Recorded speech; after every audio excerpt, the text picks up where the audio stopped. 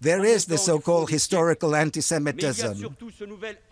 Going back hundreds of years, but there is particularly that new form of anti-Semitism born in our neighborhoods, out of the internet, out of hatred, hatred of the state of Israel, and which advocates hatred against the Jews, all Jews. So we need to use the right words to fight this type of totally unacceptable anti-Semitism. And as I have said over and over again,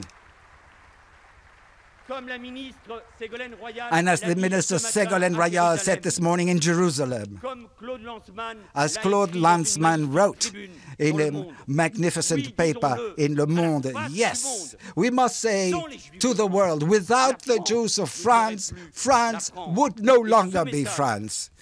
And that message is one that we all have to deliver strongly and loudly. We did not say it in the past. We did not show our indignation in the past. How can we accept that in some schools, in some colleges, the Shoah cannot be taught? How can it be possible that a seven year old child should tell his teacher when the teacher asks him, What is his enemy?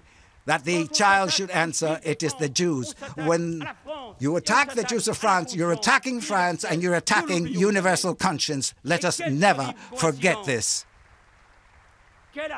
And what a horrible coincidence that we see a multiple offender of hatred who is